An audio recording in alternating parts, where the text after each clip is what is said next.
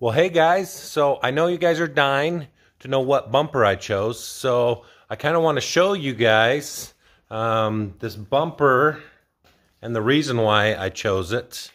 Uh, let's uh, show you guys. So, I chose the aftermarket bumper. It is a nice bumper. I still need to polish it. Looks great on here, especially with the amount of lift I have. I mean, you get rear-ended, uh, it's going right under. At least I got a little bit more uh, height, I guess. So, uh, so it's lowering my height down. So if a smaller car hits me, it's not going under, taking out the axle. But um, I like the look of it.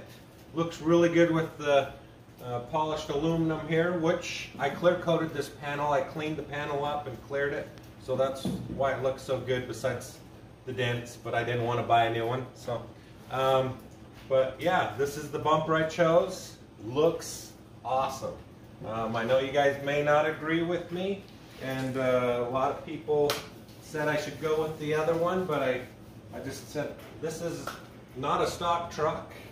Um, let's let's go aftermarket, and this thing's a lot more heavier dutier, so it, it weighs a good hundred and something pounds. So um, super cool. So I just wanted to share with you guys that this is the bumper I picked.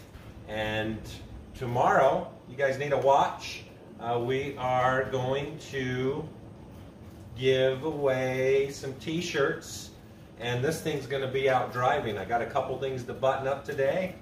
And so remember I have a previous video on a t-shirt giveaway and you need to follow the rules. So you guys need to be a subscriber, and you guys have to leave a comment in the box. So go back and look at those videos.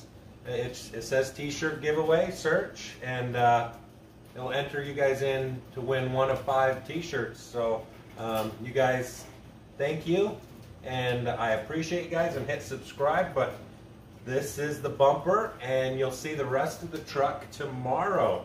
So super excited. Thanks.